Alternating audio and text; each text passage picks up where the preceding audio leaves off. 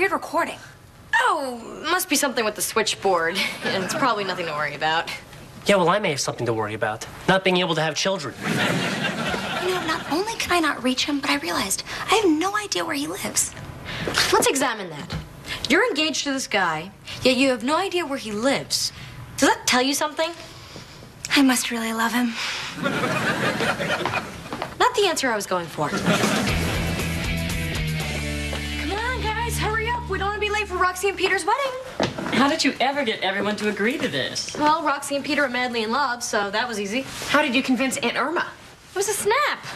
I am her favorite niece. I am her favorite niece. Two minutes before the wedding, perfect timing. We can get to our seats without having to make small talk with that evil Aunt Irma. Hilda, Zelda. Always bridesmaids, never brides. Actually, not even bridesmaids this time. Nice to see you too. Well, it's a glorious day, and I can't think of a more perfect match for Peter than our Sabrina. Sabrina? You mean Roxie? Roxie. Is, is that Sabrina's nickname?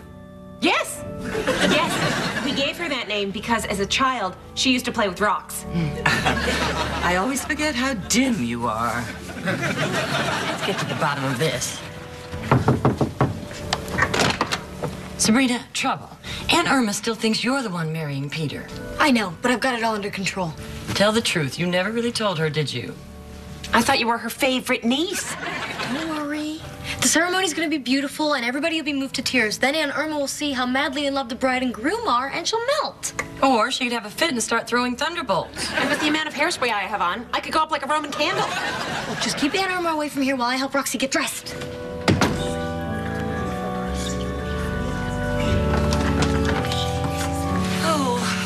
Think Sabrina's plan will work? Absolutely. Let's run while I've still got hair. Friends, witches, trolls. We are gathered here to witness the joining of two powerful witch families, which I, in my infinite wisdom, have brought together.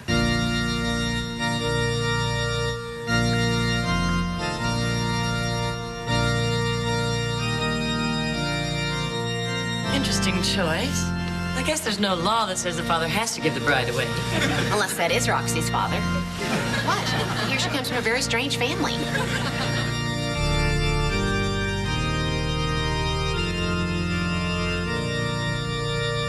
You are about to witness a special kind of other realm wedding. The young couple asked to write their own vows, Oh, how beautiful. but I vetoed that. we shall start with the traditional drinking of the passion ambrosia. Peter, lift the bride's veil. Uh, we thought we'd wait to the end of the ceremony to do that. Nonsense. Here, let me help you. No, that's not necessary. Silence. Lift the veil. Oh my God, Sabrina. Sabrina? Well, of course it's Sabrina. Whom were you expecting? Yes, whom were you expecting?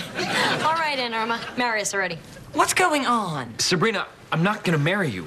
I don't love you. Well, I don't love you either. No marriage is perfect. Moving along. I do. But I love Roxie. This is Roxie. She played with rocks. What? Look, Peter, if you love Roxie, you have to marry me. Honey, what are you talking about? If Peter marries a mortal, Aunt Irma said she'd make that mortal miserable for the rest of her life, and Peter would never see her again. I can't let that happen to Roxie, so I'm taking her place instead. Sabrina, why didn't you tell us? Because I knew you'd try to stop me. You were willing to sacrifice your own happiness to save a friend. There's no other way. oh, That is so touching. Now, where was I?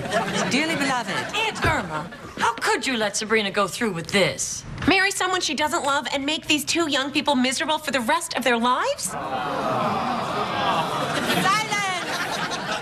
I suppose even though their misery could bring me untold happiness, I must call off this union of holy matrimony. And I'm through wasting my time and energies being a matchmaker. Hear, hear. Alden, if you could get a little meat on your bones, I could fix you up with a really cute cyclops. Keep an eye out for me. I know. Silence.